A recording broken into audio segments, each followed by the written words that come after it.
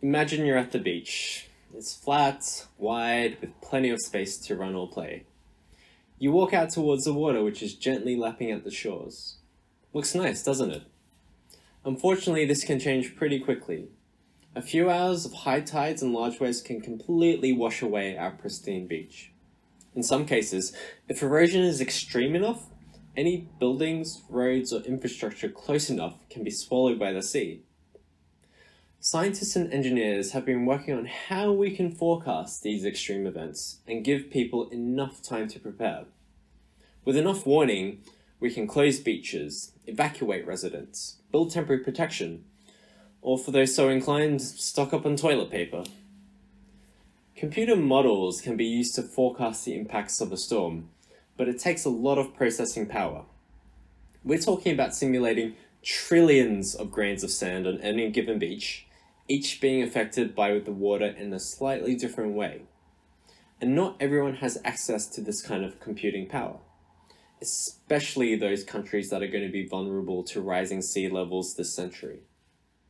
What we need is a crystal ball for coastal change, a method that will show you which areas are going to be eroded or flooded without the need for intensive computational power.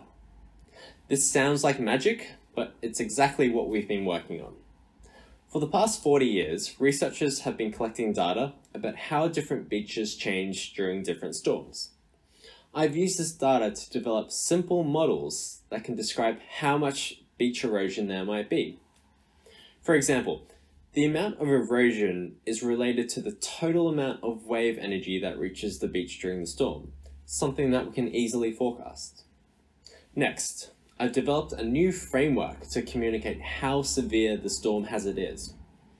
Like the different bushfire warning levels, a storm's hazard could be described as low, moderate, severe, or extreme.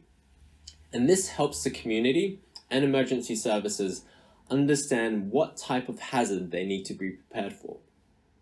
Thirdly, I'm testing the lead time and accuracy of the forecast based on this type of system.